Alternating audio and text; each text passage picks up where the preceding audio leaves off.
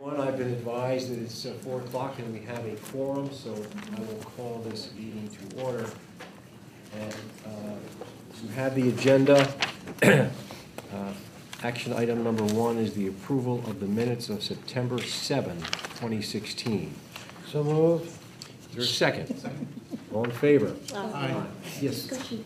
Ah, discussion of the minutes. Yes, Cecilia. Um, Yes, I just have a quick question. Um, On behalf of the committee, I had asked for the ethnic distribution of students, um, but I don't remember getting an email or any follow-up. So is the committee going to receive that information? Uh, I'm advised by uh, Mr. Patrick that we will be receiving that information. We just don't have it yet. Okay, thank you very But the minutes accurately reflect what you requested, correct? Yes, they do. Thank you. Any other comments about the minutes?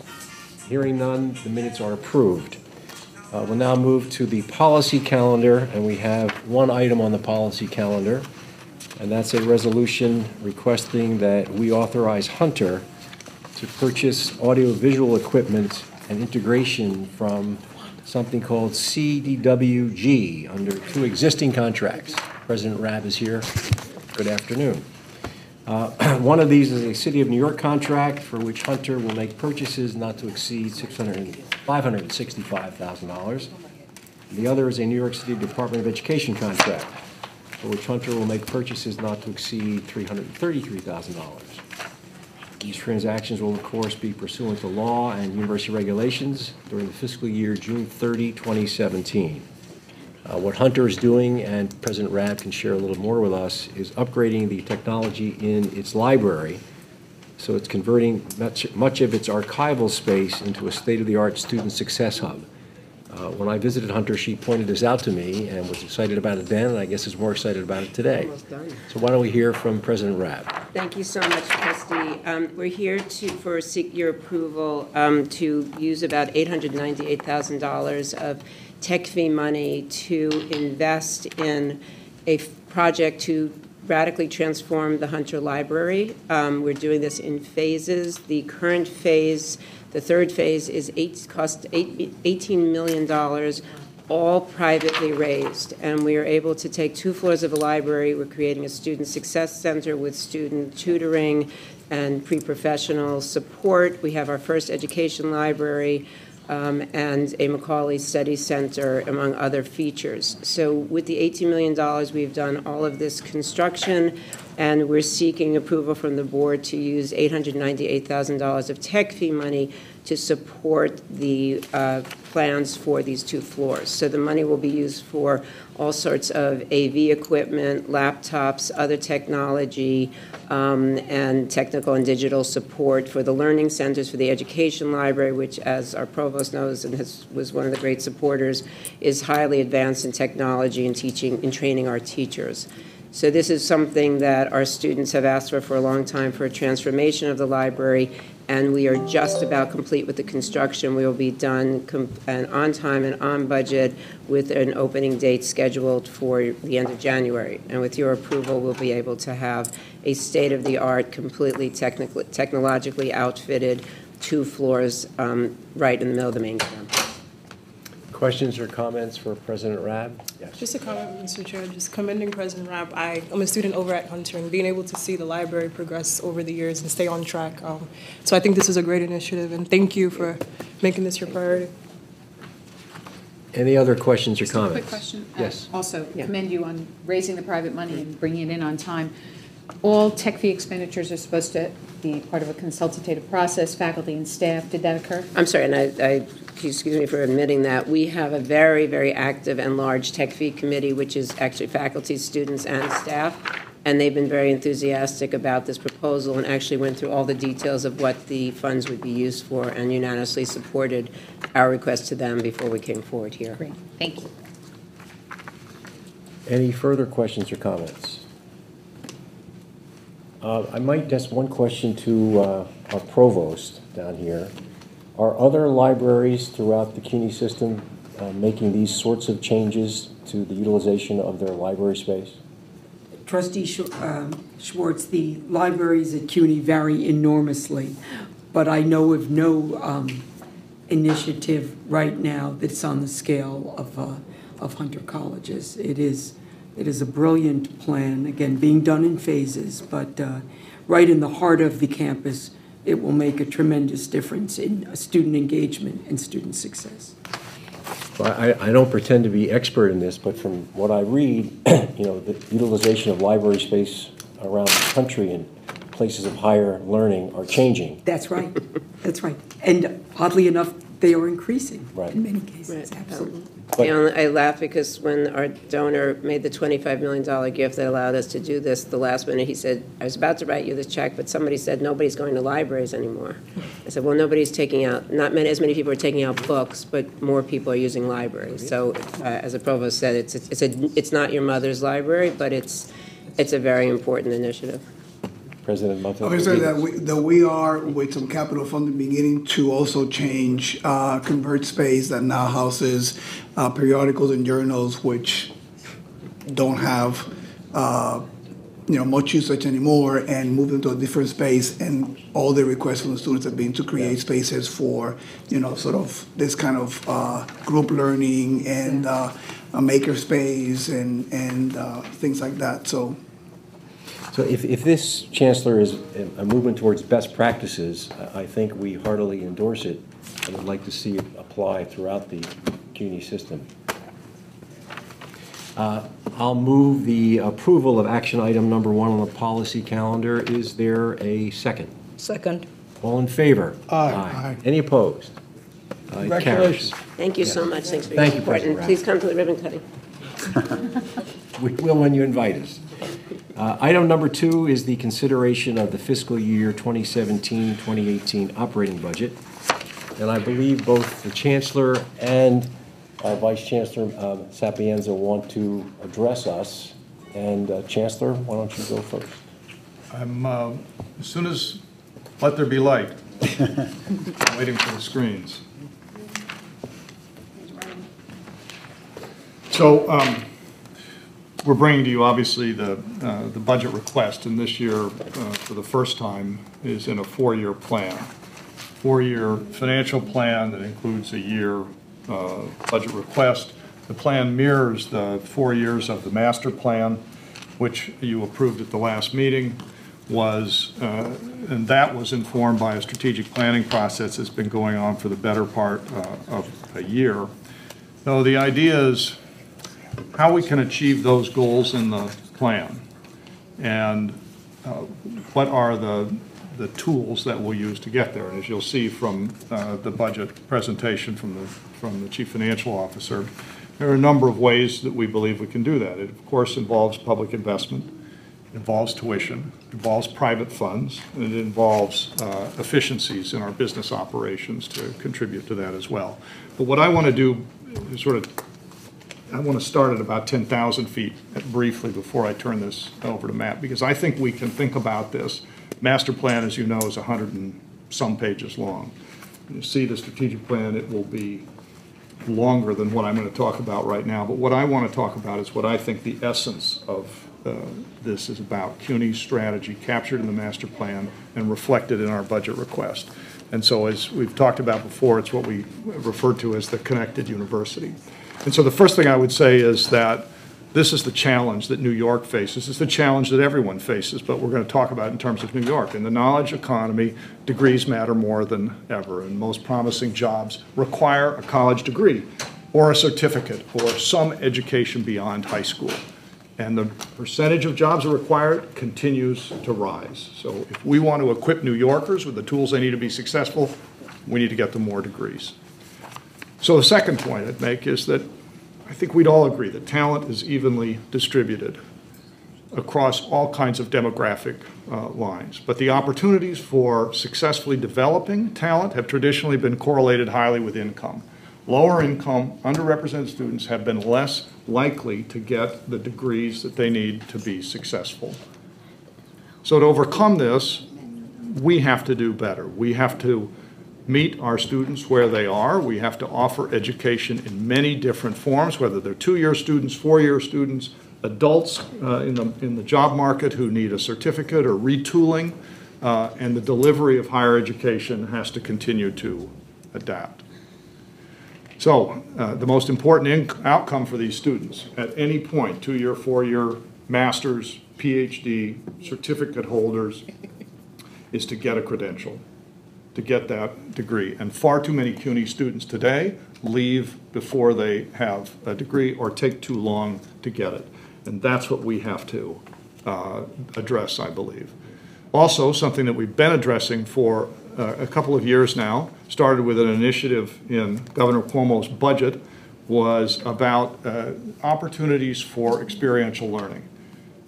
I believe this is a, a must for CUNY. It's an area where our students, probably more than most, need the opportunity uh, to be in the workforce in meaningful employment that relates to their area of study, that gives them a jump start in the job market. And so we, we have a plan that this board has approved, and we have a number of different strategies that we're pursuing uh, right now to provide many more internships and experiential learning opportunities. Chancellor, may I interrupt yeah, for a second? Sure. What, what's the, the- the metric by which you can and, and we can share with you the success or not of what is our plan with regard to internships? I'd be, would be happy to provide uh, a synopsis of that from the plan to remind people of what it is. We're doing an inventory now of all of the programs that exist across the university so we can measure what success looks like a little better. They're highly distributed across the, uh, across the system. Right now, we're focusing here on a number of opportunities in IT, and finance, and other areas. We tend to expand that. And we intend to build a better mousetrap in the way that we can provide um, access, one-stop shopping to industry sectors, employers, uh, so they aren't going to 24 places to, to find interns. And so uh, there are a couple different ways that we'll do this, but I'll, I'll be happy to follow up on that. Yeah, that would be useful. For those of you who weren't on this committee last year, former trustee Beal raised the point, which was accepted by the committee and by uh, Chancellor and uh, uh, Vice Chancellor Sapienza, that we would be kept abreast of how the projects that we approve, that we fund, are actually doing, so that we could take stock of whether or not things are working as they were contemplated to work, and if not, make appropriate changes. So thank you very much. Sure. So, so the next step is getting people jobs, launching them on the, in the careers that they need. And this is a parallel really to the, to the experiential learning. We believe there's much more we can do uh, to get uh, our graduates into uh, attractive job markets, and that's part of this plan. That's part of the focus. Um, So we believe that uh, CUNY is uniquely positioned, uh, has unparalleled opportunity because of its diversity, its scale, its location, uh, and its position to be a hub of a network of institutions, hence the idea of the connected uh, university. And that's really this point. We can't do it alone. No matter how good the plan is, we can't do it without partnership with government, the public schools, the private sector, um, research institutions, foundations, uh, and community-based uh, organizations. So just to recap, the idea here in this budget, in this master plan, is at core, we need to do a better job of having students be college-ready, and for those that aren't, getting them through remediation and into uh, degree uh, granting uh, courses. We need to do a better job of completion in a timely way. And we are going to propose to do that at a pretty dramatic scale, both at community colleges uh, and the senior colleges.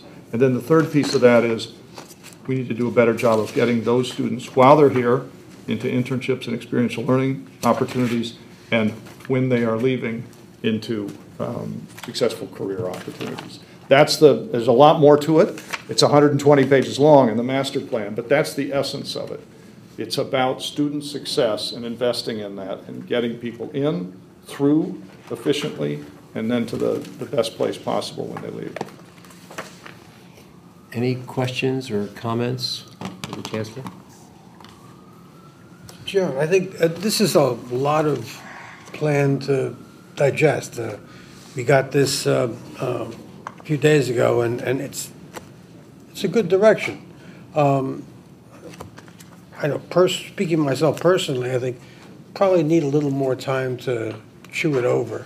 Um, But some real good stuff in here, and I think it's, these are things that'll help the university and help guide our discussions about what we ought to be doing as trustees and the future of the university. So I'd hope, Mr. Chairman, it's appropriate to ask for, uh, you know, some degree of um, um, time to chew this over. Let's just be clear what the "it" uh, is that you're referencing. The, uh, the master plan, uh, to which the chancellor made reference, is something that we have reviewed and have voted upon. Budget request. The budget request. That's right. Understood. Any other comments On the presentation itself or on the budget? On the presentation by the chancellor? We'll have plenty of time to talk about the budget, I promise. Okay. Vice Chancellor Sapienza. Thank you, trustee Schwartz, and, and good afternoon, everyone. Um, We are going to go through the budget request for fiscal 18 this afternoon. Um, You all have copies of the, you have hard copies at your chairs of the budget request document. It was loaded into SharePoint um, last week, as trustee Ferrer said. Um, But rather than go through the budget request, the actual document itself, um, we're gonna, we put together some slides that we'd like to take you through the highlights of the budget request and talk about some of the, the key points um, that underpin the entire request. And um, before we get started on the actual presentation, I just want to, first of all, introduce to all of you who haven't met her, our University Budget Director Kathy Abada, who's down at the end of the table, and want to recognize Kathy and everyone in the University Budget Office for their terrific work in putting the request together. And also want to thank and recognize uh, University Provost and Executive Vice Chancellor Rabinowitz for the great work on the master plan, which, again, was the blueprint for what we put together in terms of the request.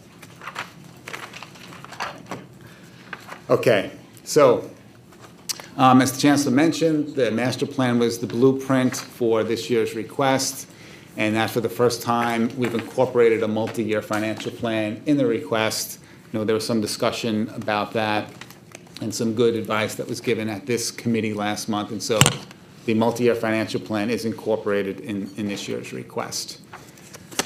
So the current economic environment, is very important to understand um, in terms of evaluating a budget request. And I think as you all are aware, we do have some short-term and long-term financial challenges that, that are ahead of the university. So what are some of those? Well, um, this next slide shows our projected unfunded mandatory needs for the next four years. Um, and so that first item, unfunded costs of current collective bargaining agreements, um, starting next fiscal year in 2018, we have about $68 million of um, our new labor costs that are not yet currently funded that we have to cover. Um, these are costs that will be coming next year, um, and that will increase by $9 million in 2019. The next item, projected new labor costs, even though we have new labor agreements with all of our unions, with the exception of one small one, um, most of those contracts are going to expire over the next year or two. Um, and so these projected new labor costs, just to give you an, a sense of what the costs could be, this represents 2% annual increases. Again, doesn't give any sense as to what those increases will be because we do follow pattern bargaining from, of the state and the city but just to give you a sense of what those costs could be with a 2% increase. And then our other mandatory costs, these are things that we have every year, fringe benefits, salary step increments, building rental escalations. Um, and so we do have these costs going out for the next four years that we need to find resources for.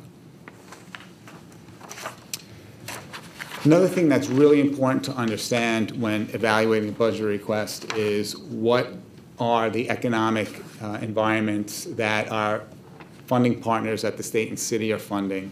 And so these show the estimated um, out-year surpluses or gaps at both the state and city level for, the for this year and then the next three years. And this is as reported by the state and the city. And so you see the state um, has some um, gaps for the next couple years. They're very small, especially considering when you look at post-recession when the state had, was looking at $16 billion deficits. um, to have deficits the size of these um, that are very, very small um, compared to those shows the great work that the folks at the state have been doing to, to um, make sure that the state's being fiscally responsible. The city also has out-year gaps. Um, They're a little bit higher than the states, but again, um, these are gaps that in the past, the city has been able to, to manage. And so while there are out-year gaps, both the state and the city um, are in pretty strong fiscal condition, which is a good thing. So in terms of our short and long-term challenges that we're facing here as a university, one thing that I want to make sure that um, you all on the committee understand and, and we have the confidence of is that these short-term and long-term challenges um, are not the result of us being fiscally irresponsible and that we have been putting in place um, changes and, and uh, changes to the way we've been managing um, in terms of our finances. And I really want to deflect all the praise to our college presidents in the way they've managed their budgets. So what this chart shows is the last four years of our state spending. And this, this data comes directly from the state's financial uh, reporting system, the state's accounting system, SFS. And it shows our total spending um, for our senior colleges and system office. And so you can see those totals, and we broke it out by personal service and other than personal service, which is our purchasing budget. And you can see the changes by year. So um, over the three years between fiscal 13 and fiscal 16, our total spending on the state side has gone up by about 5.6%. And when you average that out over three years, the annual average increase has been 1.85%. So even with mandatory costs like fringe benefits, um, salary step increments, building rental escalations, energy costs, even with all these mandatory needs increasing, we have only increased spending on our, on the state side by 1.85% on average over the last three years. So we have been fiscally responsible. Um, also, in talking about fiscal responsibility, we have um, had an administrative efficiencies program in the last two years. In fiscal year 16, between the senior colleges and the central offices, we reduced $51.3 million. We're continuing that this year. The community colleges are also part of our efficiency program this year. We're reducing three, of that 36.63 million is coming from the community colleges. So a total of $88 million that we uh, will have reduced when fiscal year 17 is completed. So as the Chancellor said, we have developed a multi-year action plan that will generate the resources that can cover these unfunded mandatory needs and make investments in those key initiatives that we have in the master plan that has been approved. Um, we're going to continue and ramp up our administrative efficiencies plan so that we can redirect resources from administrative areas to core instruction and student support areas. Um, and again, this calls on the help of all of the university stakeholders, the state and the city, um, the university with the administrative efficiencies plan, philanthropy from, from, uh, from the private sector, and of course, tuition increases are included and are very, very critical to the support of this plan. So the, here's a summary of the four-year plan, and this is in the document as well, um, in the, in the um, in the budget request document. And you can see for each year, the total sources, um, where they'll be generated from, um, and then what the uses of those resources will be in each year of mandatory cost increases and the master plan and strategic framework initiatives. And I'm going to go through each of these in, in just a couple of minutes. So let's start with what we would invest in. What are those new master plan and strategic framework investments that we will make? Um, and again, there's a lot of narrative in, in the budget rest document, as Trustee Ferrer referenced, um, that talk about what those specific investments will be. So these are just some highlights for you. But uh, the first category is faculty and academic program investment, and this is so critical for us to make sure that we hire, promote, um, recruit, and retain outstanding and diverse faculty. Um, very, very uh, critical for us, one of our top priorities um, and that we make sure that those hires are done in areas of demand to both the students and to us serving New York State and New York City. Um, we are also planning to leverage research um, opportunities, create activity and partnerships with other universities, organizations, with the private sector. So the research aspect of this is included in this category. Next category is expanding access and improving college preparation. So one of the new programs in here is something called CUNY Connects. And we're very excited about this. This is a program in which CUNY students will be hired to work as peer mentors in the 11th and 12th grade in City Department of Ed high schools. Um, and this will help support college access and the transition process for those high school students. Um, for the for the most part, these CUNY students will be placed in the high schools from either which they graduated or the neighborhoods in which they live. And so we think that this will be a really helpful program in terms of easing that transition from high school in, into college. Um, one of the other pro- programs that we're going to be really focusing on is expanding access through online instruction, um, focusing in especially on adult students. Um, that's a key category here. And one other thing that's not on the slide, but I want to mention that's part of this uh, category is our single stop centers. We have single stop centers at each of our community colleges, and we have at one at one of our senior colleges, John Jay College. And single stop um, is there to help students get access to the benefits that maybe they are, are unsure that they can receive, or they're not sure how they go about receiving them. So that could be federal or state or city benefits. And we've had this in place at our community colleges for the last several years. It's been incredibly um, beneficial to our students. Um, we estimate that this has generated, um, you know, hundreds of millions of dollars in additional benefits to our students. So not only helping access, but helping the students with affordability and getting the uh, benefits that they that they are entitled to. What does this budget contemplate for single stop going forward? Um, so for single stop to to expand single stop to all of our campuses that currently don't have it, it would cost about 3.3 million dollars. For this budget for next year, um, That's we, an annual cost. That's an annual cost, 3.3 million to expand it to all of the campuses that don't have it. Um, But if we, but this budget for next year, um, it considers a $1 million um, expansion. So we'd probably, with 1 million, be able to expand to at least three additional campuses for next year.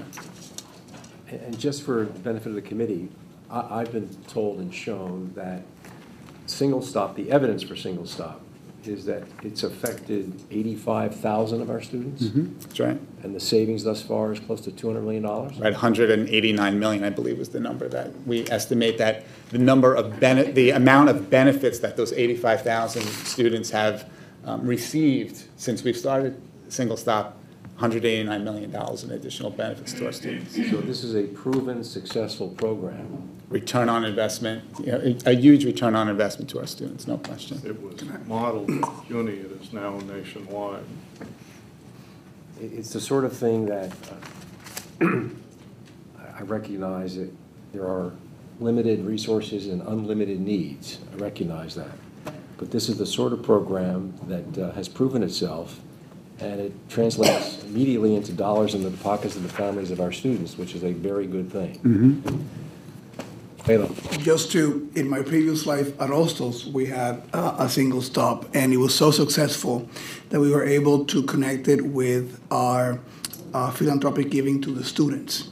Uh, any student who approach the Hostos College Foundation for a scholarship, we require the student to go to single stop first to see if some of the additional aid the student received met that need. And if that was the case, we had more money to distribute for students that didn't qualify. So not only was it a phenomenal instrument in the way that uh, Vice Chancellor Sapienza has described, but we were able to leverage even more to, uh, you know, to provide more support for students. So big believer in the program.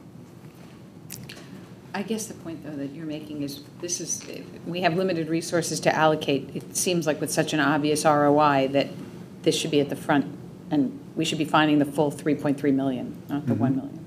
We're certainly asking for it. Yes, mm-hmm. exactly.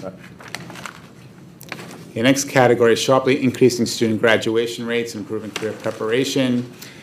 We have a national model for improving graduation rates at the community colleges and in the ASAP program. And we can, we are not only planning on expanding that program, but we could take so many of the elements from that program and have them um, developed at at our senior colleges as well. Um, Things like um, enhancing academic advisement. Um, New technology can play a really key role in academic advisement. It Doesn't just mean having uh, advisors physically on the campus. Technology can play a, a very significant role in that. Um, So advisement is, is certainly one core component of this. Um, We also want to sharply expand, as the Chancellor mentioned earlier, uh, opportunities through experiential learning and internships, something that was part of the governor's budget proposal last year. Can we ask questions at this point? Sure. Okay, great. Absolutely. So this is another one of those that has, you know, very high success rate, you know, for the student population. But what we, what, I- what I don't get here is scale. So what is the, what are the number of students affected by this and the number of schools in which is- it is placed, the campuses that it's placed? Because it has a, you know, um, um, Senior Vice, Cha- Executive Vice Chancellor uh, had given us a report at another meeting, and it has some very, um, really good return on investments and very good outcomes. But what you don't get is what's the scale of this? So, And trustee, so the ASAP program specifically? yes, AS, I'm sorry, yes, I, Thank you. ASAP. Trustee, I believe I can address that. There are 7,000 students university-wide now in ASAP, but we are quickly scaling to 25,000 by fiscal year. I believe it is 2019, 25,000 students, including Bronx Community College, which will become fully a- an ASAP college. We are also scaling this up in four-year, pro, scaling up. We are piloting the program at a four-year college, which would be a remarkable proof of concept if we could show that the same elements, the enhanced advising, the cohort effect, the taking 15 credits a semester, so that credits are accumulated and the students are, are making progress. If the Metro cards, all of it, if we can show similar success rates, over 50% of associate degree students earn degrees in three years. And we are very much hoping to move the needle on graduation rates at our senior colleges with similar elements. Again, we've just begun the work at the senior college level. So the increases from the beginning of last year was about 4,000 students. Yes. It'll be 25 in a couple more years. And in terms of scale to full population, we chose the Bronx Community College partly because of its size, partly because of the need to be the place where we did the proof of concept for taking it fully ASAP. Okay. Matt, since you're taking questions as we go along, I didn't want to interrupt you earlier, but um, the very first item we talked about was faculty and academic program improvements. And we're talking about $14 million next year, 10 for the seniors and four for the community colleges. It's really not a lot of money. And as you made the point before, we brought on a 1,000 new faculty lines, but we're only treading water given how our enrollment has grown. I've asked before, can we have a discussion, projections, et cetera, in terms of the number of courses that are taught by full-time faculty? Yeah. Where we think that's going? Sure, uh, we can, we can, uh, we can give you the data on that in terms of the percentage of instruction taught by full-time faculty over the last several years. And you're correct, I mean, um, the, we added a thousand new lines, uh, faculty lines with the investments that we made from the, um, from the tuition increases over the last five years. But because of our enrollment increases, we haven't um, significantly moved that number of percentage of, of full-time faculty.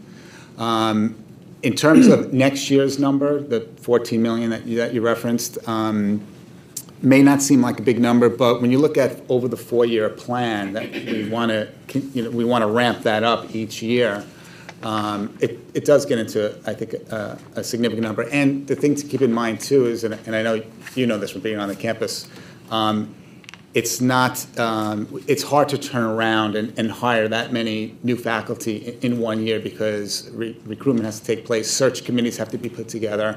Um, But having said that, it's certainly one of our top goals is to, is to bring more full-time. It was just, uh, you also, just in terms of the trustees who weren't here before, the last master plan had a goal, lofty, of 70% of our courses being taught. And in this mm-hmm. master plan, we didn't, I mean, we didn't make that number, we didn't come close. And so, but we didn't even put a goal in this master plan, so it is a mm-hmm. concern. I mean, Yep.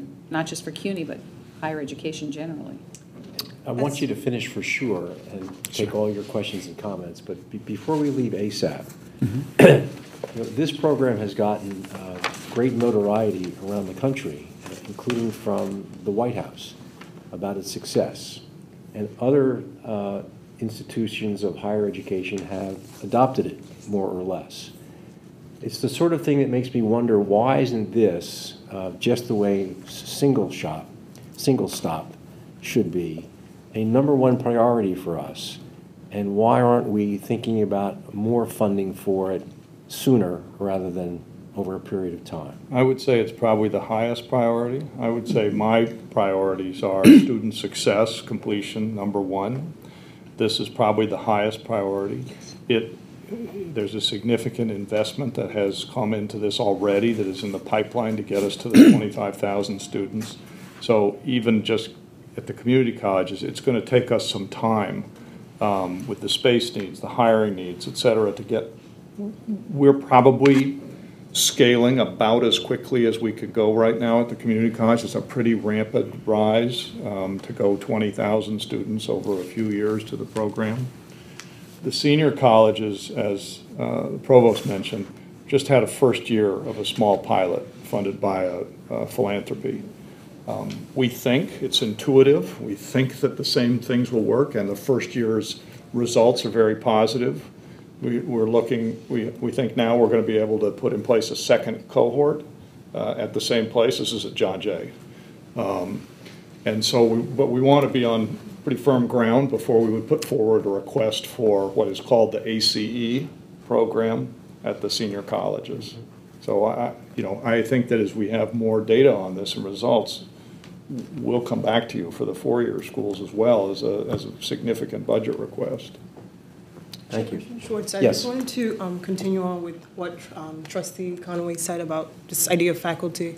I know um, the senior vice chancellor mentioned that the goal of this budget is to re- retain and hopefully attract more diversity in terms of um, faculty.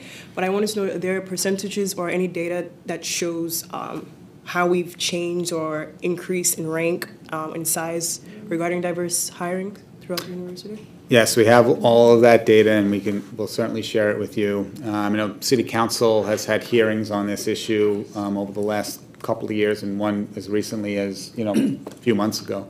So, yeah, we have all that data, and we'll, we'll certainly So I share guess it my with this question- committee. Is there, any of you can give me a broad idea, is, has it increased, has it not increased? Because I know this is a conversation we've had before, I just wanted to, an understanding of where we are with our diversity. Uh, Trustee, I can I can give you some idea, but not great specifics. Diversity among faculty has increased very slightly, a single percentage point. About one-third of CUNY faculty are faculty of color from underrepresented groups. Now, nationally, that sounds good, because nationally the figure is 19 or 18 percent. But it is not good enough for CUNY, where our students are much more diverse than, than the student bodies elsewhere. So w- the truth is, the numbers have been flat over the last few years, but we haven't done as much hiring as we would like to do. Um, With the settling of our contract, we, ex- and, and the aging of our faculty, we believe we will have a chance in the next few years to, to not only grow the faculty, which we hope to do, but to um, diversify the faculty with new hires replacing faculty who are retiring. That is, you know, that, that is one of our hopes and goals. I don't understand. Can, I'm sorry. Go ahead. Go ahead. I was going to say, I, I, there's a statistic you just threw out that I didn't understand. You said 13% of the faculty are people of color, right? Are diverse. 30, 33%. About a third. 33%, Yes. And yet, and yet, you also said something about it has increased by just. A single percentage, a single percent. that's right. So In these one are all tenured, long-term employees. Faculty, actually, I- trustee, I think they, they include tenured and untenured. We're talking about full-time faculty. Full-time faculty. So both tenured and untenured together.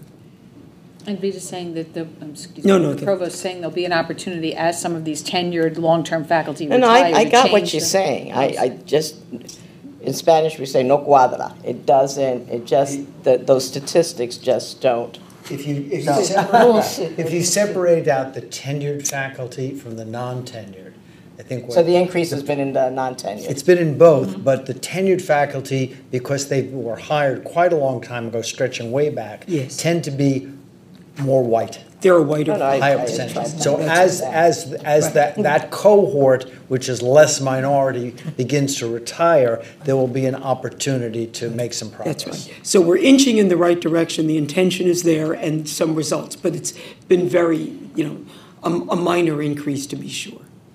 Yeah, yeah. Trustee Mujica. I just want to go back to ASAP for a second, to your point, Chancellor. On the scaling of it, is there a way to scale it faster?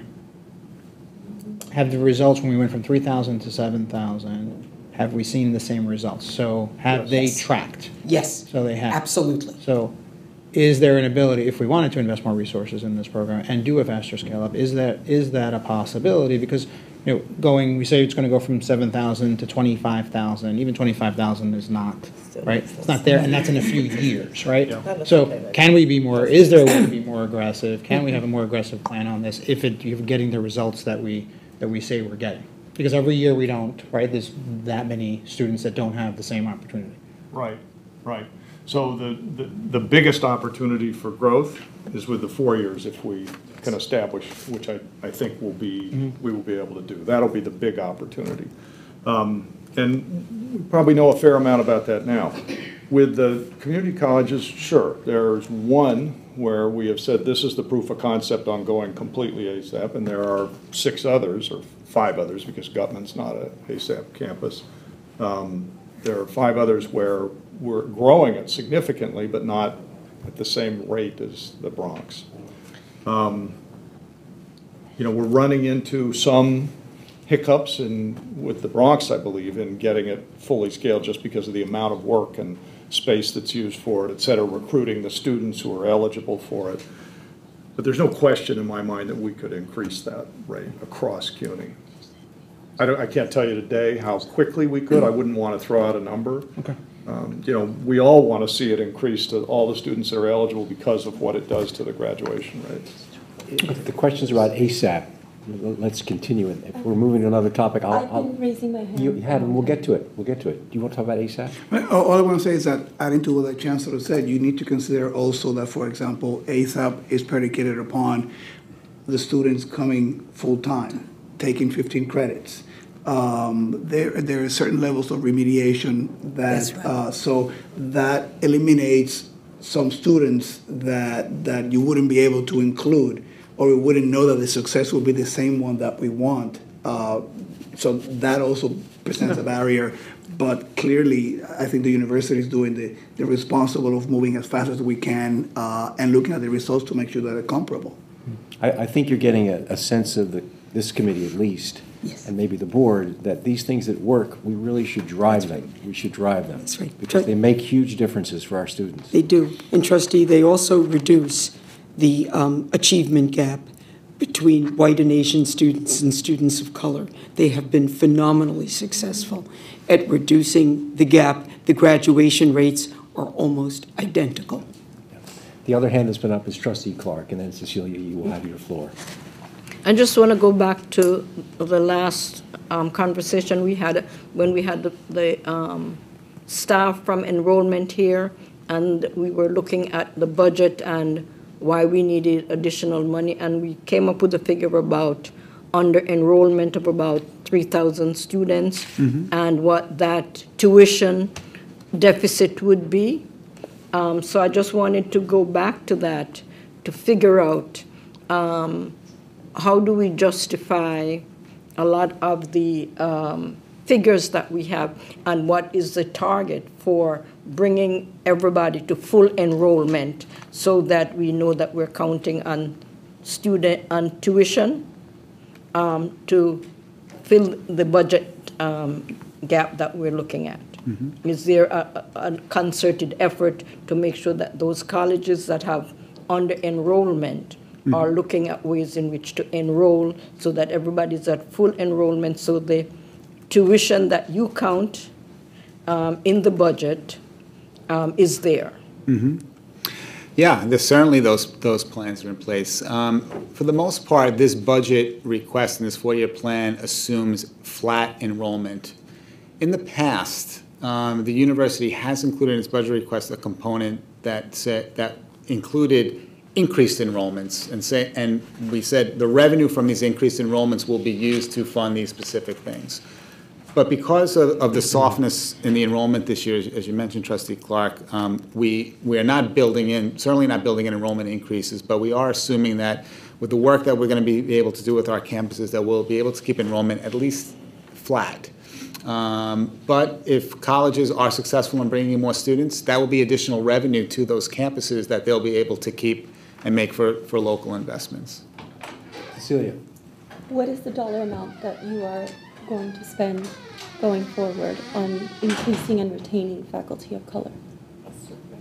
Um, We don't have a specific amount for that, um, but uh, we certainly could develop, um, you know, that number. Um, We have a, a number for increasing faculty, um, and that, as I said earlier, certainly includes um, uh, being a more diverse workforce. Um, But we don't have a specific ask in terms of, of that. What is the project that will be funded out of the money that is going to this general pot? Because I, I understand uh, Vice Chancellor Rabinowitz' um, point about this idea that faculty is going to, you know, retire, and that's how we're covering the gap in di- the diversity.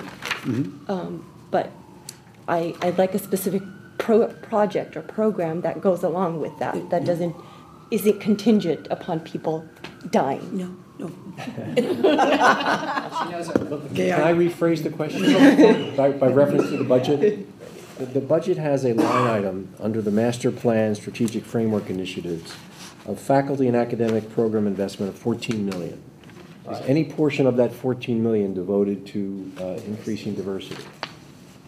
Yes, um, I, I don't know what that is off the top of my head, but we, we can get you the, the details in terms of what makes up that fourteen million dollars. But then the answer to your question is, if it's a piece of fourteen million, it's a small number. Yeah. Yes, right. Um, I would l- like to try to address your question. We have absolutely been thinking about how we can proactively diversify our fac- faculty. It includes, among other things, hiring many of the wonderful doctoral students. We, we have a diverse doctoral student uh, population. And we would like to, you know, grow our own faculty to some degree, not entirely and not exclusively.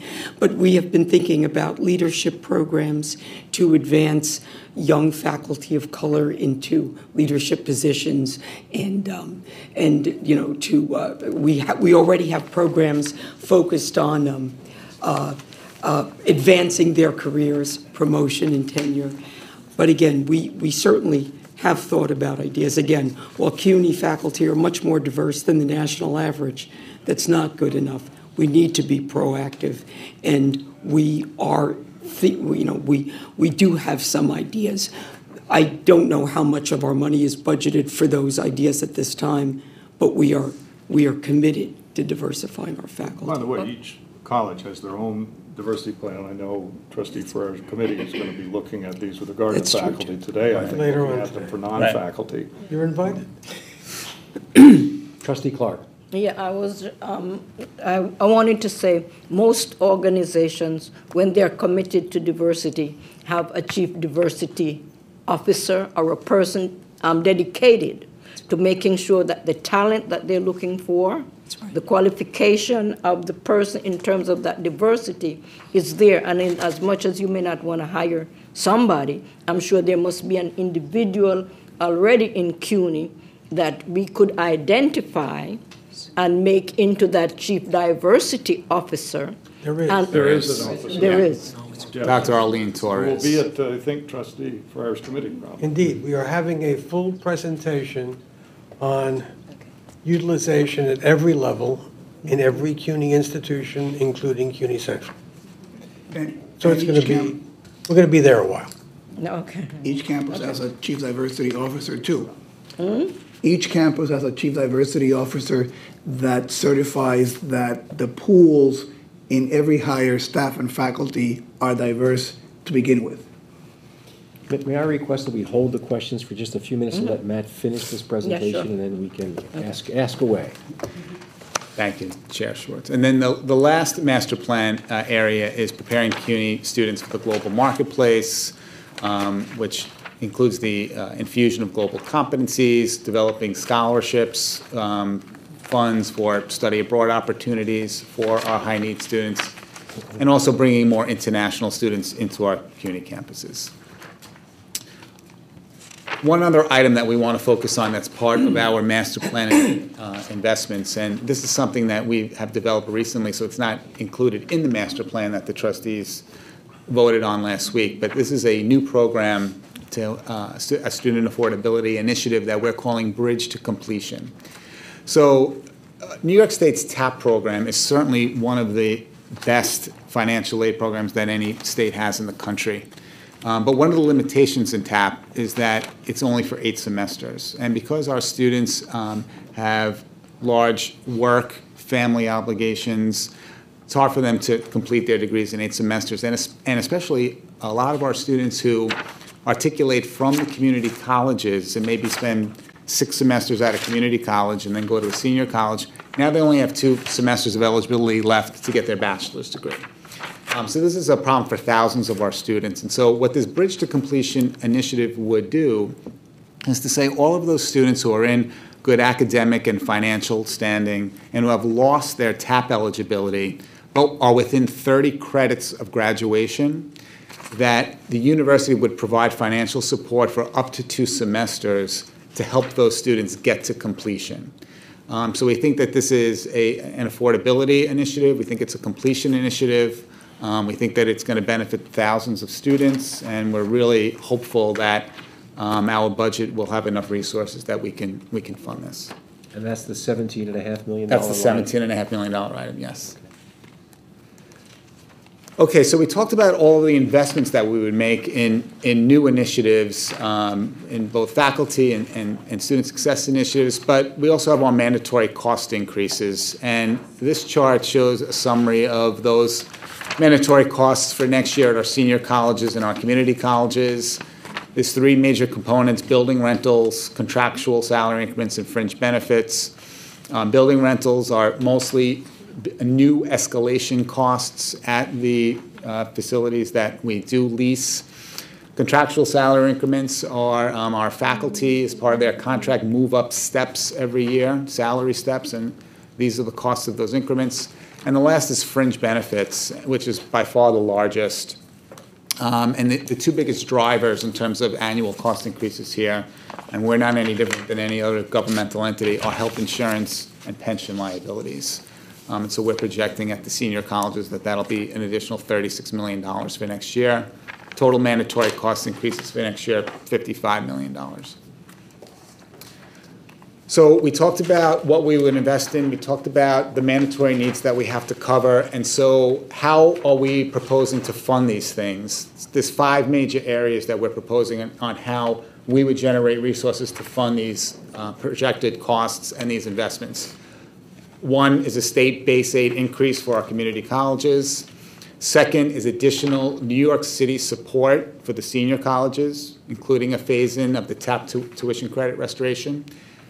Third is the funding of mandatory needs from the state and city. Um, We're asking the state and city to cover 100% of our mandatory needs increases. Fourth is what we are going to do internally in terms of administrative efficiencies. And fifth is the uh, extension and modification of the predictable tuition policy. So I'm going to talk about each of these um, for a couple of minutes. So community college base aid increase, we're requesting a three-year community college funding commitment of $250 per student FTE each year. We asked for this last year. Um, SUNY asked for, had a very similar request um, last year as well. Um, Our current base aid level is slightly under $2,700 per student FTE. Um, And it's gone up in each of the last four years, which we're very grateful for, that the state has stepped up and increased it. But when you compare that level to where we were in 2009, and you take the 2009 level and add inflation, we're actually down about $382 per student FTE on a community college base aid. And that's because uh, post-recession, we had four straight years where the community college base aid number went down. So the last four years, we've caught up in, in nominal dollars, but not in terms of when you look at the purchasing power and you add on inflation. So we're asking for a three-year commitment of $250 per FTE in order to support our community college operation and provide support for uh, strategic investments. Next, um, and this is something that we're asked, this first time we're asking for this in our budget request, and that is additional New York City support for our senior colleges. For the past 20-plus years, New York City has provided $32.3 million for support of our senior colleges and central administration. Um, That number has not changed. It's been flat at $32 million for over 20 years. Um, When you apply the higher education price index to that number, um, in today's dollars, had that number moved every year, it would be closer to $60 million. So we're asking that the city increase their share of funding for the senior colleges from 32.3 million to 60.3 million dollars. We're also asking, um, because of the importance of our senior colleges in terms of the city's economic health and providing opportunities to, to the citizens of New York City, requesting an additional $20 million for senior college operating support. And lastly, we're asking the city to, to help us cover the gap um, on terms of TAP waiver credits. So we are legally bound to covering the difference between our senior college tuition and the maximum TAP award. Maximum TAP award currently is $5,165 per student. Our senior college tuition for a full-time resident student is $6,330. Covering that gap costs us $51 million. That's $51 million that has to come off the top of our budget, and that's $51 million that's not available to our senior colleges to make investments in their students and in their academic programs. And so we're asking the city um, to put up some funding this year to help us phase in um, the closing of that gap. So that's $10 million. So in total, we're asking for $58 million in additional support from the city for the senior colleges for next year. But is that right? In the past, we've asked the city for $32 million? $32 million has been the base budget for the senior colleges that the city has funded. It's always been $32 million. Um, We have never asked for an increase to that number, but we feel that that, certainly the equity argument um, in terms of that, that number's never moved. Um, So we that that- proposed this year to move it from 32 to 58. 32, 30, no, 32 to 90. To 90. By 58 million, correct. Okay. And the 58 is 48 for the uh, senior colleges and 10 for this phase-in of uh, the Correct. TAP uh, The tap- restoration. The tap gap, The tap correct. gap. Do we, can, can I ask a question? on Please. Do we know, the number hasn't changed in 20 years, do we know what state aid has gone up by and TAP has gone up by in that same 20 years? Yeah, um, and again, I, I don't have that number available, but we certainly have funding history tables going back to, you know, the, uh, you know, the, the mid-eighties. Um, and the TAP number, um, I think we can get through, through uh, Higher Education Service Corporation. So, so yeah, we can provide the, the committee with that, with that data. Next item is our administrative efficiencies program, and as I said earlier, we be, we are going to expand on the administrative efficiency program we began last year. Um, As you all know, we've engaged with an outside um, organizational expert, McKinsey and Company, to, to build on this. They've begun their work, um, and we're really looking forward to uh, getting their final product in a few months. Um, And the focus there is going to be um, business process redesign, um, strategic sourcing, um, improving um, services to our campuses, revenue enhancement opportunities, and finding efficiencies in facilities management. So again, very excited about this, and we're looking forward to, to the work that they're going to do. Matt, on this, given what we're paying McKinsey, what's the expectation for what they'll find for us in terms of cost efficiencies? We have not given McKinsey a target in terms of saying, we want you to save X millions of dollars. Um, And part of the motivation in doing that is we really want them to focus on business process redesign and improving services to our campuses, improving those synergies between the campuses and the central office, between the campuses and the shared service centers and shared service activities that the central office provides, um, and improving business process throughout the campuses and the central office. So um, we haven't given them a target to say you must reach this number of, of millions of dollars of savings, but we certainly expect that um, the number is going to be a significant number that's going to help us um, with our efficiency program. So let me say two uh, quick things about that. One is, you know from this document that we came up with a number of 75 million over this period of efficiency. So that's sort of the, uh, the straw man, we're starting with them. We want you to test this. I mean, that's our, we developed that uh, internally. Uh, We think it's realistic. Um, Would love it if they do uh, better than that, but what they're going right through right now is the benchmarking and trying to identify specific opportunities. But that's our starting place uh, for them. Um, And to be clear, second- Chancellor, that 75 is over four years, yeah, correct? Yeah. So the, the second point is that when they identify these opportunities and we bring it back to you to discuss these, um, then we'll talk about how we do the implementation. And there are a number of ways we can do that with them, without them, have them do it. If they do it, they'll, um, you know, whatever they're paid will come out of, of savings. Uh, You know, my personal bias is that I want to do it in partnership because I want to build a culture with our people doing a good part of the work on implementation. I think we'll have uh, some savings there, but have their guidance and implementation. Okay, next category, predictable tuition policy. So I know we're going to need a few minutes to discuss this. And so I first want to start off with giving some background into the predictable tuition policy that was passed um, in 2011 by, by the governor and the legislature. And so in 2011, that predictable tuition policy was for up to $300 a year for five years. And those are the increases that the university implemented. And over that time, um, we used the tuition to invest an additional $263 million in our campuses. Programmatic investments. These, this 263 million did not go to, to cover shortfalls or to cover mandatory needs. These were new investments that were made in our campuses. 183 million at the senior colleges, 80 million at the community colleges. Of that 263 million dollars, 75 million was provided in additional financial aid. 73 million went to invest in full-time faculty, and as we said earlier, about a thousand new faculty lines were added over that time. So our campuses made terrific investments with the additional tuition revenue that was generated. So what was the return that we received on those investments? Well, in looking at the outcomes and looking at all of the data that one would evaluate higher education institutions on, they're all trending in a very positive direction over, over that time period.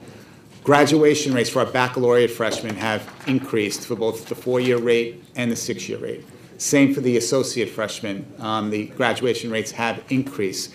We've granted 22, 22% more degrees in, in academic year 14, 15 than we did six years earlier. So, so that's trending in the right direction.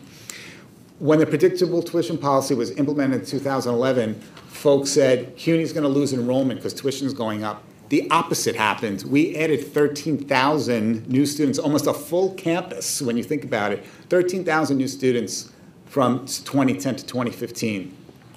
Academic momentum for baccalaureate students in terms of measuring how many credits they earn in their freshman year, that's a key indicator of student success. That went up.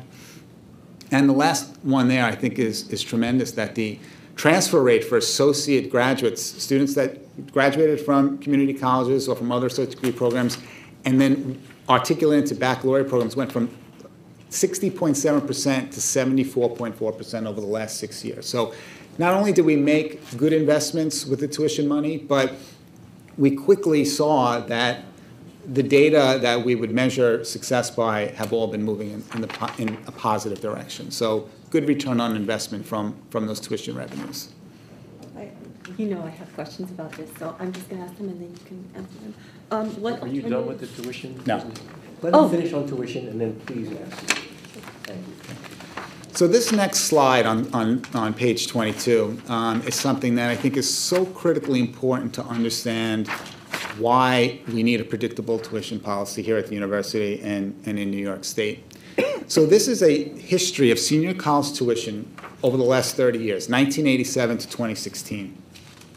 The red bars indicate um, how state aid has changed at our senior colleges on an annual basis. The blue bars indicate how much tuition has increased at our senior colleges in each year. So I want to call your attention to the time period of 1991 to 2010, 20 years, a 20-year look at senior college tuition and state aid. So in those 20 years, senior college tuition increased only six times in, in 20 years, which I think one would look at that and say, that's pretty good. It only increased six out of 20 years. But look at the percentage increases that happened in those six years. Five out of those six years, tuition increased by more than 10% in that year. And in three of those years, tuition increased by more than 30%. I mean, look at 1996, it increased by 32%. A 32% increase for this year would be an increase of $2,100 in, in one year. So the tuition increases were unpredictable and they were rather large because they were taking place um, sporadically and not annual modest increases. So that was one problem. The other problem is when you look at the red bars, in every single one of those six years that tuition went up, state aid to the senior colleges went down, which meant that every single dollar of the tuition revenue that was generated in those years went to cover budget shortfalls. Now, one dollar went for new investments in our campuses and new investments in our students. Um, so this was the wrong policy to have in place, and 20 years was uh, was utilized under this policy. Under this policy, so 2011 comes along. The governor and the legislature passed the predictable tuition policy, and so now look at the right-hand side of the chart and look at those bars. So 2012 you have to discount because the agreement took place in summer 2011 and the state budget was already adopted for 2012 and again we were still coming out of the recession and so state aid went down. But from 13 14 15 16 four years in a row tuition yes at the senior colleges did increase but it increased by very modest amounts well below 10% each year. And in each year state aid went up. So as we looked at just a few slides ago, we were able to take that tuition revenue and use it for investment in our campuses rather than to fill budget shortfalls. That's why the predictable tuition policy works, and that's why we're supporting an extension of the predictable tuition policy. And just for comparison purposes, to look at what our, uh, on the next slide, what our current tuition is at the senior colleges, it's $6,330 here, as I mentioned earlier. We're a tick below SUNY. Um, but if you look at the private colleges here in New York City, we are well below the private colleges. We're still extremely affordable. And if you would add fees onto this chart, our average fees for a SUNY student at a senior college is between three and four hundred dollars a student. At the private colleges, it's well over thousand dollars per student. So the disparity grows significantly when you add on fees to this. So we, even with the five years of increases, we're still incredibly affordable. So what are we recommending in terms of extending the, the predictable tuition policy? Um, we're recommending a more modest tuition plan um, through 2021. So instead of a five-year uh, extension, we are recommending a four-year extension, so that will be consistent with our four-year master plan. In terms of the increases, we're recommending a reduced amount. Instead of $300 a year, we're recommending $250 a year, again, to try to be sensitive to those affordability and access issues. That's for the senior colleges. For the community colleges, we're recommending, again, four-year uh, increases, but at one, capped at $100 per year. And what we are prepared to do, if our funding requests from the state and city are met for community colleges for next year, we will commit to freezing community college tuition next year for a second straight year, similar to, to what we did this year. Um, So again, we're trying to be responsive to, um, to the needs and trying to modify the predictable tuition policy um, that was passed in, in 2011. And just again, to give you some data and to make sure that that you have all the information um, at your fingertips in terms of evaluating this policy, please keep in mind that more than two-thirds of our full-time undergraduates currently attend tuition-free because of the TAP program and because of Pell Grants from the federal government. Eight in 10 graduate debt-free, which is incredible when you think about what happens throughout the country um, in terms of, of the debt uh, issue that's been, been talked about um, for the last several years. And in terms of Pell and TAP, um, in last academic year, we administered almost $600 million in Pell Grants, um, over 144,000 recipients, and over $300 million in, in TAP awards, 106,000 recipients. Um, and so I, I want to show you this chart, and we talked about this chart at our last fiscal committee meeting, and, and um, this was requested, and we wanted to make sure that, again, you understand um, the major components of the CUNY's funding sources. So the left-hand side shows our three major funding sources, state aid, city support, and how much is generated from students. And so at, at a very macro level, it's 45% state, 44% from tuition, and 11% from the city. But when you dive down into that tuition number, um, 27% is, is really the amount that's coming from students because TAP and Pell cover about 17%. And then the other thing to keep in mind is because TAP is 10%, the state aid number that's supporting the university goes up from 45% to 55% because of their support for the TAP program. On the right-hand side, it's those same numbers, but we are showing it by student uh, full-time equivalent. So our total funding per student FTE is $16,240. Um, state aid is 7288, city support is 1747, and students is 7204. But again, when you look at how much of that is from TAP and Pell, coming from the students is really $4,468 per student. And that doesn't include all of the other scholarship opportunities that students may have. This is just discounting it for TAP and Pell. Um, so other scholarships that you, the colleges might have given out, college foundations, that would reduce that number even more. And again, in looking at state aid, if you add in the TAP number to the state aid number, the state aid number is closer to $8,800 per student. So again, want to make sure that, that that's clear um, in terms of our funding sources. Matt, th- this, this chart i- is very helpful. Uh, You gave us in November a chart that showed us 2015, Right? and then this one is 2017. Do you have this for 2018, your proposed budget? Um, Yes, um, we, we have that, and we can, we can share that with you. Um, I'm, yeah, no, we didn't, ha- we didn't put it in the document, but we have that, and we can, we can share that with you. But let me jump to the next slide, because um, you'll get a sense of, of those funding shares. And um, I It's know just when you look at tuition, tuition in 15 was 31%, tuition in 17 is 27%. Right. I don't know what Right. 18 looks like. but Right, and no, no, that's right, and it's a great point, and and it's, and it's because there were no tuition increases in sixteen, um, and there were state aid and city support increases, and so that percent went down. So this chart on, on slide twenty-seven is also in the budget request document, and it's, ju- and it's a summary of just fiscal eighteen in terms of, um, the funding requests that we have, um, for each of the categories, and what those would go to fund, and so, you can see the total proposed percentage changes from the state, we're asking for an additional four point four percent. The city would go up by twenty-four point three percent, but um, if you look at that second line there, previous funding commitments, twenty-three point four million dollars has already been committed by the city for the expansion of ASAP that we talked about earlier and additional fringe benefit costs. So when you take that out, essentially the city number goes down to sixteen point six percent increase. And then from tuition is two point three percent.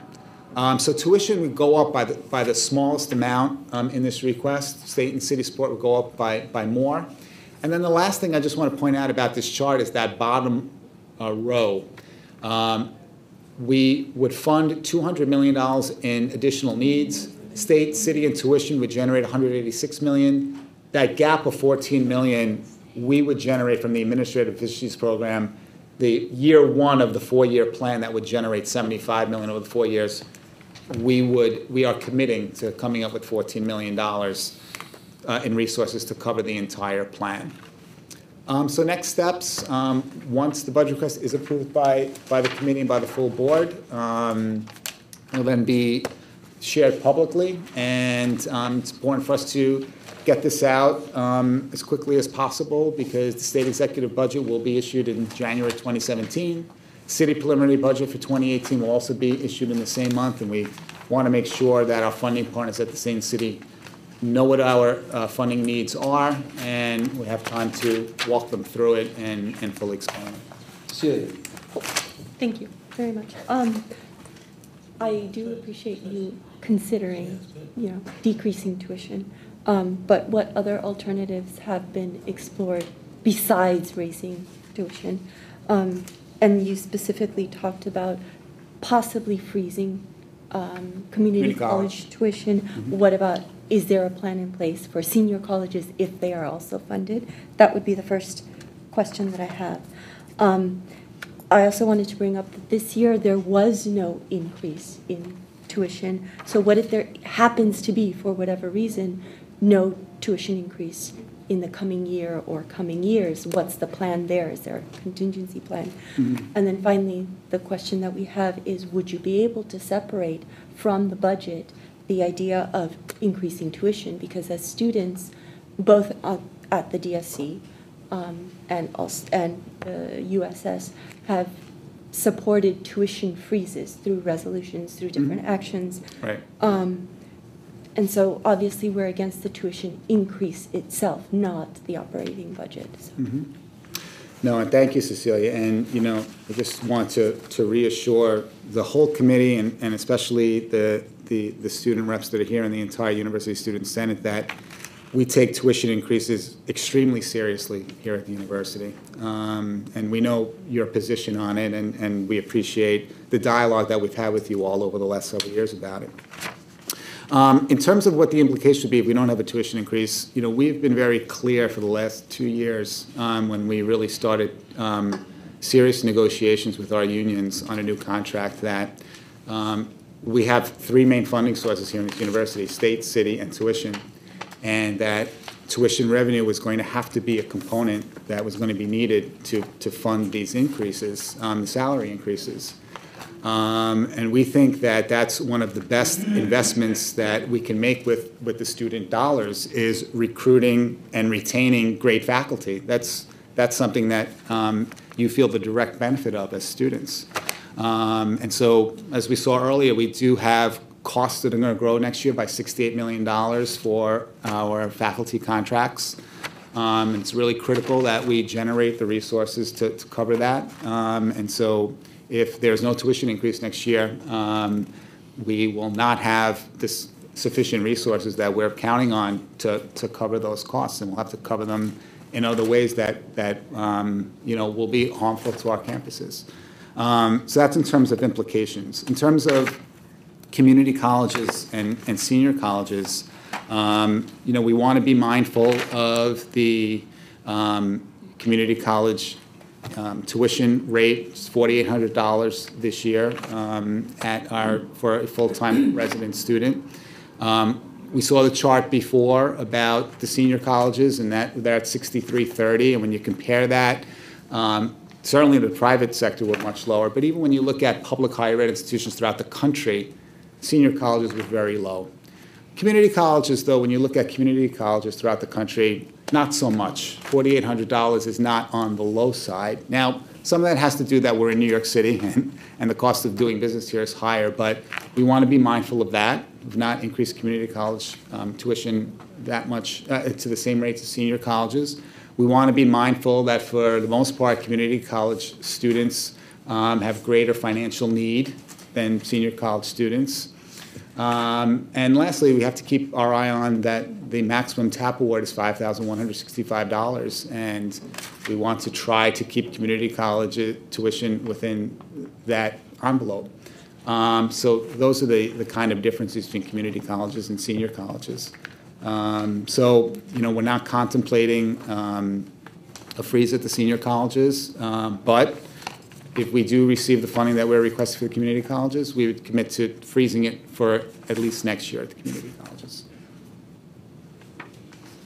Chairperson Schwartz? I think um, one last question Cecilia asks is about the separation, um, separating the budget from the tuition free, so if you can speak to that point Yeah. before I ask my question. Um, You know, I, I would um, be very um, careful about, about that piece, and I would strongly recommend against doing that. I mean, you saw the, the funding chart, and I'll, I'll just jump back to it so everyone has it in front of them. Well, the only way you could do it if you separate it was to put in a request to make up for the, the loss in, in tuition. So the size of the request would go up dramatically if you, if you separated tuition out and still had to, we have to fund the faculty salary contracts and staff.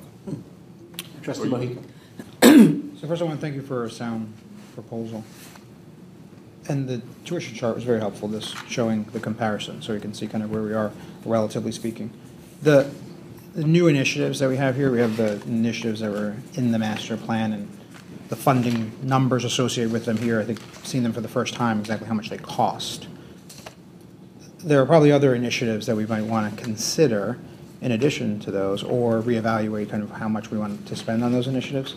But I also view the, the issue of tuition as it, as it comes up. We should look at what the impacts are if there is no tuition, to the point. One option is additional funding requests, another option is other things that you'd have to do at the university level to make up for that, right? In the mm-hmm. event that that did not happen. So we should have those, so we understand what the impacts would be.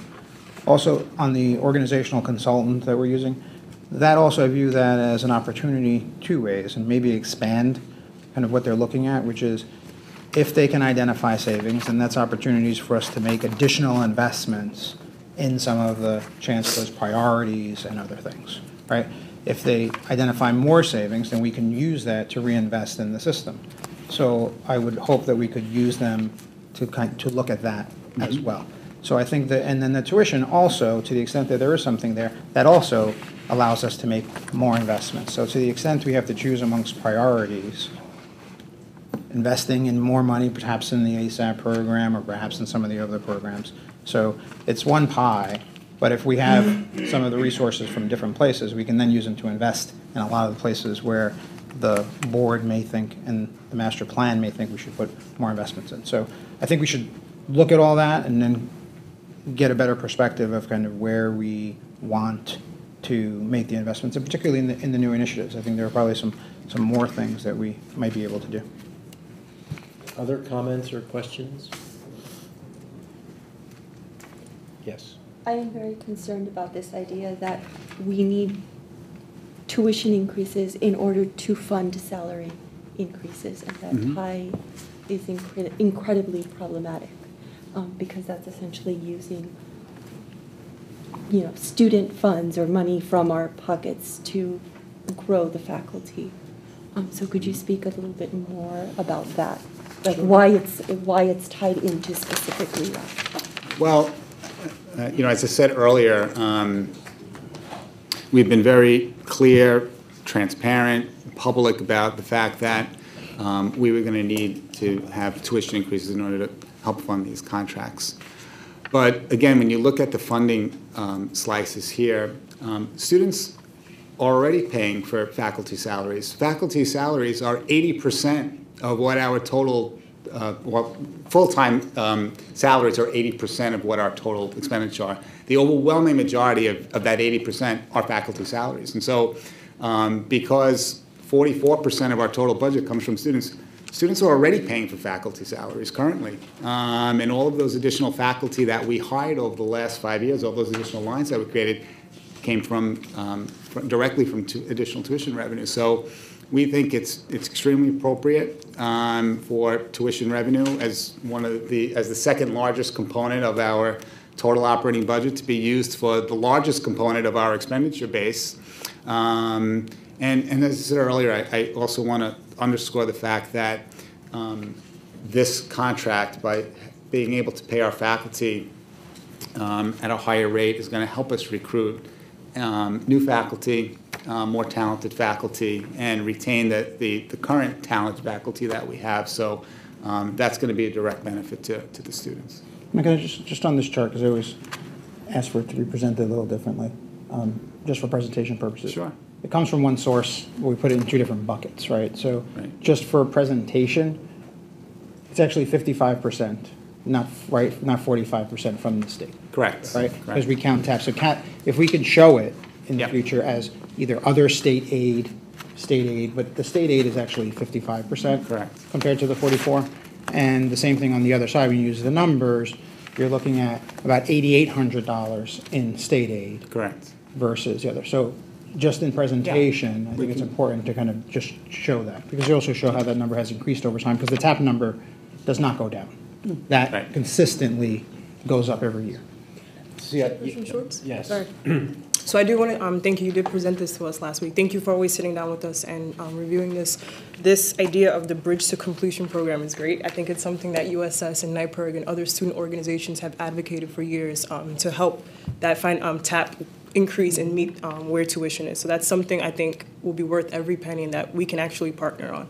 Um, but I do go back to the point, um, that Cecilia brings up, um, this idea that we just came through a year where we requested tuition increase and we did not receive it, right? Mm. So we sit here and we say, we're gonna multi-plan, we're gonna put tuition in there, and we're gonna hope that it comes out, and then what if we go through a year that we just went through again? What, what do we do? Do we come back and say, okay, great, let's try this again next year? So this idea that we're asking for the separation is, again, as she says, we support the operation. We understand that this university needs to operate, we need to go to classes, we need to attain a degree. Um, but this idea about the faculty contract, it's something that we've heard before. I've heard the narrative before that, you know, we're gonna use this money, we're gonna bring diverse people in. We're, look, we've heard this narrative before and we haven't yet seen it there. Um, so that's my idea of us not planning to fail. Um, so tuition is for us, it's, I think it's unacceptable. The, the idea is that enrollment increased over the years, that tuition went up, and then now we see enrollment going down. It doesn't, you know, I don't think that that's an actual, you know, rationale. And based on the chart that you did show, um, state aid did not go up every year as tuition went up. Actually, in 2012, from the chart that you showed, it actually went down. Um, and then I guess my final question is also, who comes up with this number of 250? Like, do we just sit in a room and say, hey, $300 sounds good, let's just throw it on the table. Why not $50? Why not, you know, where do we come up with these numbers to say this is what we want tuition to be? Um, so I go back to the point that you made that she brings up, there's a contingency plan in place for community colleges where it's, we can either um, receive the full funding or it will be $100, which sounds like, again, it's something that we can work towards because there's advocacy work that can be done to that. But we just, we're giving up, we're conceding that state, the state and the city can't fund our public university. So it's saying, now we're not even going to ask for there to be a freeze in the senior college. We're not even going to touch that avenue. And I think that that's something we've turned our backs on, that this is a public university. And I think we should we're going away from the conversation of state and city investments. I think we should um, continue to come back towards it. So I guess that is my question again.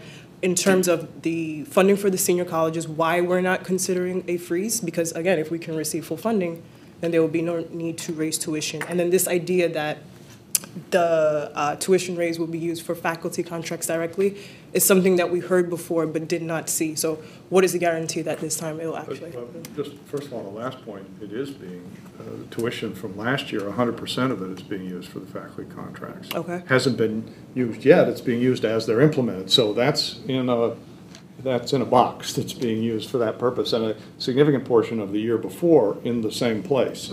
So we're using those two years' tuition as part of this plan to finance uh, the new contracts going forward. Okay. You know, it's not just the, the the going forward piece of it. Um, So I, I just wanted to hit Yeah. that one. And just one point of clarification, uh, you know, small point is, because you mentioned 2012, which is a good point on the chart. um, It does show that state aid went down that year, but just want to point out that when the predictable tuition policy was enacted in the summer of 2011, the state budget for fiscal year 2012 had already been adopted and had a decrease for that year. Um, again, because we were coming out of the recession. But, but since the policy was technically in place in 2011, so the first year was really fiscal year 13, and from that point on, state aid did increase. Um, But, but just to go back to your, to your point, and and again, totally hear you and, and and appreciate, you know, the, the thought and the, um, and, um, you know, that you've given, and the ideas that you, you have, you and your leadership team have given us. Um, You know, you saw at the beginning of the presentation that the costs that we have, the mandatory needs that we have to cover. Um, Tuition is such a large component of the budget. And again, just to go back to this chart that I have up here on the screen in terms of the history, we really don't want to go back to that place where, um, right now, the state and city are both in, in a strong economic position, but we don't want to leave ourselves exposed to the place where if things uh, go the other way, and we have to do a very large tuition increase in any one year. Um, So we think the predictable tuition policy provides um, students and their families with uh, the ability to plan and the ability to keep the uh, university affordable. So, yes, Phil. A different voice and, and sort of piggybacking on the point that Matt said about the ability to plan. And, and I just want to share a story about uh, how the predictable tuition policy played a role in my previous institution at uh, where I had the five years that sort of coincided with the plan. Um, one of the main things when Hostos was nominated to compete for the Aspen Prize, which is the highest prize given to a community college in the country, a million dollars, you competed. We ended up in the top 10. The one program that they signaled as transforming, helping to transform Hostos was the Student Success Coach Program. That program existed exclusively because of the rational tuition policy. When I came in, uh, we knew and we copied some of the things from ASAP about counseling, but we couldn't make the investments because I couldn't know year to year how much additional money I was going to receive. I couldn't commit to hiring the kind of counselors that I wanted for the students there because we had a five-year plan and I had a sense of at least, you know, I mean, it depended on enrollment, some of the funding coming in. I could go to the university and say, I want to make this investment so that every student that comes to Hostos has assigned one advisor, which we didn't do before, right?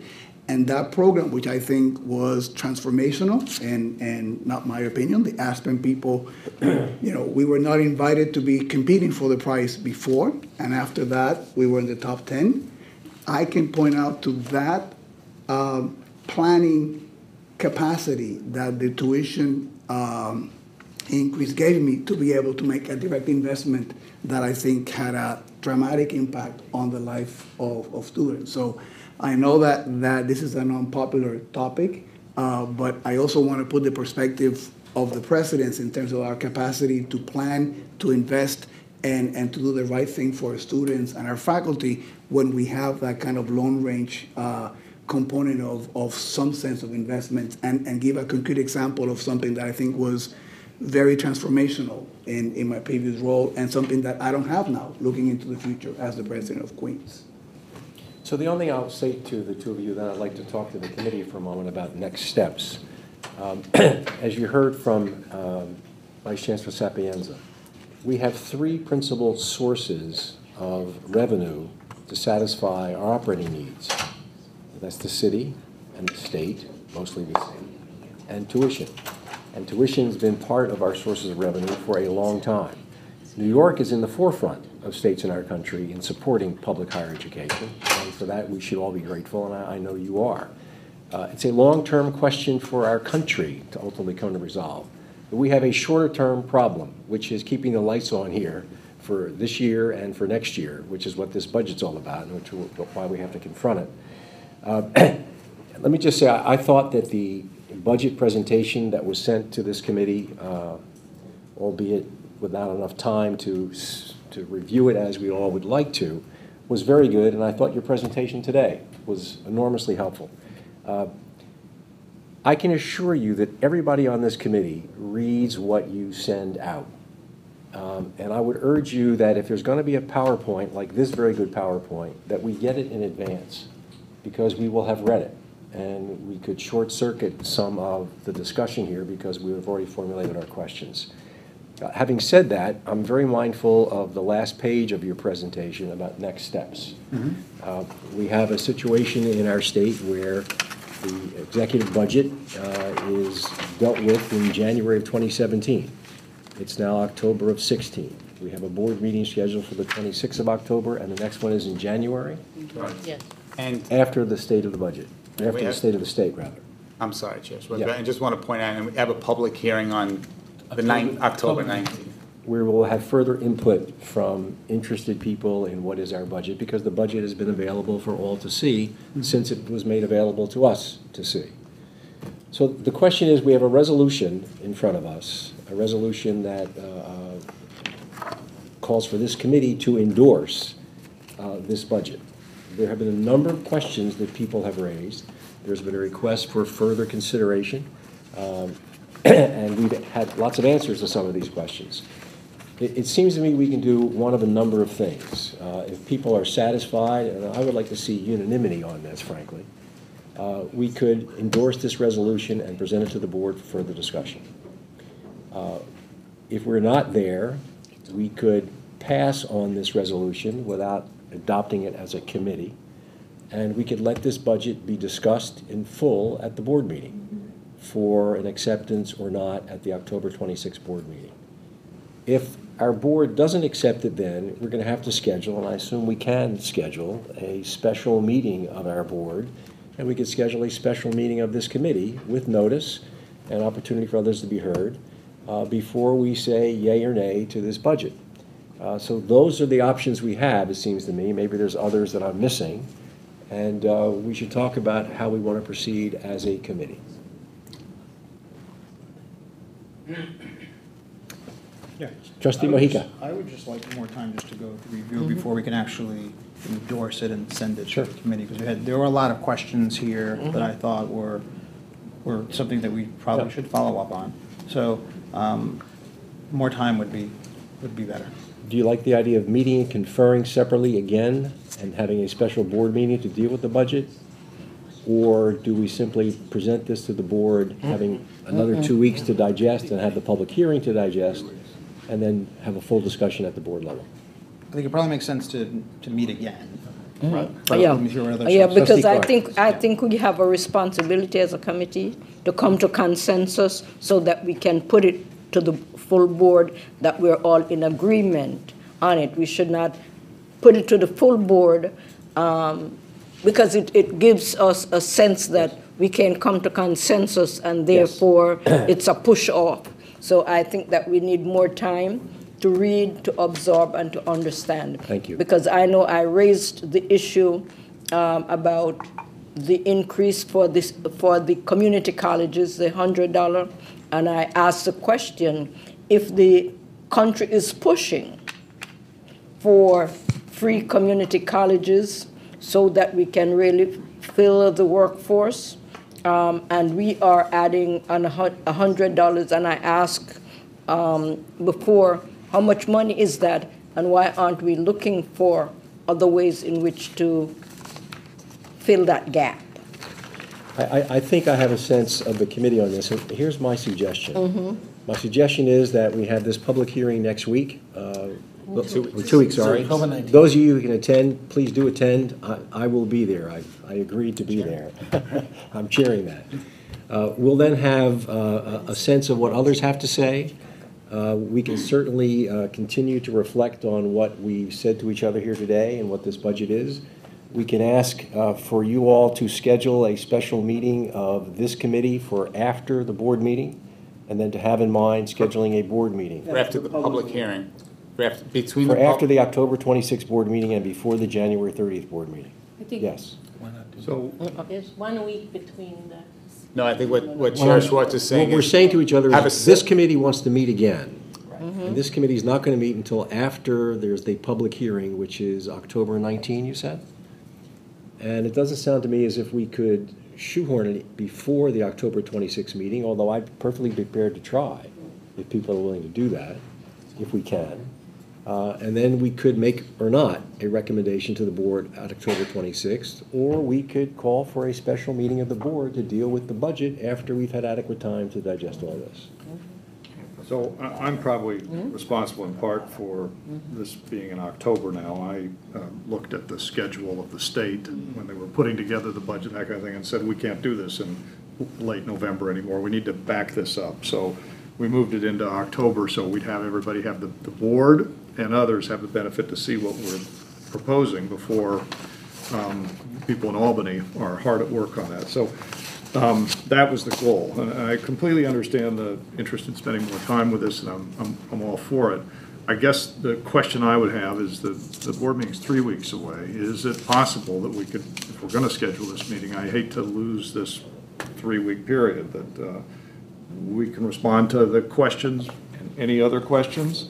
Um, We could all listen to the public hearing, uh, but I'm wondering if there's a way that we could still try to get a meeting in prior to the October 26th. I, I'm cognizant of the difficulty of getting all board members around the table at a special meeting later. And I, and so if we could, if there's some way we could take advantage of this in the three weeks, I think that would be. How do you all feel about trying to convene this committee either the 24th Monday or the 25th Tuesday of the week of the 24th, with the full board meeting being the 26th? And if we don't reach the consensus that uh, trustee Clark Sorry, spoke of, Excuse me. We have a meeting on Monday, ten twenty-four, from five to seven, student affairs and special programs. I- I- I'm not much interested in other meetings. I'm interested in this committee. People will decide to attend whatever committee they want to attend. I'm just wondering how many of us would be at the borough hearing? Could we convene it immediately after the borough hearing? By then, we'd have a chance to read through the material. Trustee Clower, I think the only thing to that is we don't know how many students will, I'm just full Could be, disclosure. could be bleary-eyed. We could be there until nine, ten PM. so. Yeah. What was the date you proposed? So our board meeting is Wednesday, the 26th, the full Right. board. I was suggesting, since the public hearing is the 19th, which is a Wednesday, mm-hmm. That we meet the following Monday or Tuesday before the board meeting. That Monday's the 24th, that Tuesday's the 25th. 24th works for me. 24th works for me. I can do the 24th. Okay, so can we get a notice out that this committee will Yes. reconvene on October Yes. 24? Are you then officially motioning to table this? I, until I don't know the next- answer yet. Nothing has been moved. One, one thing at a time. No resolution has been moved. Correct, there has been no motion. Robert. Uh, May I, may So- I add something? Mr. Chairman? Sure, please. Uh, I I think, and again, I speak only from my own personal understanding of this document. I understand what it says. These are the high points. I want to see what's in between the lines, the details of the budget. Prospect not only for this year, but for the four-year plan. You know, those kinds of things we discussed in uh, broad terms at our last finance meeting, but certainly the things that, um, the information that we need to make an informed decision on sending this budget forward to the board. So I think all of the things that we've requested, we should have before the meeting on the 24th. Certainly. We should have the, the chart prepared the way trustee Mujica has suggested, including 2018. And if we could, since I have a commitment which I can't miss at 6 o'clock on the 24th, could we meet earlier in the day? What's Can I ask- early? So morning meetings? Um, Yes. You can't consider the Thursday or Friday prior? Uh, I, I can't, Okay, I can't be here. I on the can't either. 24th, so I'm. but 24th is good for you. Yeah. Yeah. Let me Okay. just suggest that, that also, I understand the dates that we're concerned about, but it's more important, I think, that we all reach consensus and are comfortable I and agree. understand everything. I agree. So if it has to go past that date that we picked on the 27th, then so be it, Yeah. because it's better for us to be, so I think we should just, Yeah. it's okay, I think. People will understand if we go past those. So let's reflect the ambition of meeting on the 24th. Uh, Let's try and do, can we do the morning? I can't do the morning, but I can do any time after 12 noon. I How's can do 12 noon? Anytime after After three. twelve noon, anytime I have after an 12 noon. orientation. 12 noon, can we impose upon you for lunch? Yes. Sure. Okay. Say 12 noon again? here. Yes. And we will reconvene this meeting. When? There is, for 12 noon on the 24th 24th day of of October. October, that's a Monday, Okay.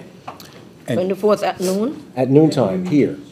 for lunch and further It's discussion. Monday, October 24th. And Chair Schwartz, if I can, if I can. Yeah, please. I just want to I'll make it offer that day. to each of the I was committee gonna be members, so selfish. if there's any discussion you'd like to have with me or folks from my team, um, anytime between now and that meeting, more than happy to, to do it and to meet you wherever you'd like and answer whatever questions you have individually.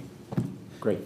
And I There's no motion, so we're not going to table by the way. anything. We're we're just going to adjourn this meeting without having addressed the second item on the policy agenda. Great. Is that okay? Very good. Uh, Is there a motion to adjourn? So moved. Second. Ladies and Thank you very gentlemen, much. Executive Committee is meeting in this room in a few minutes.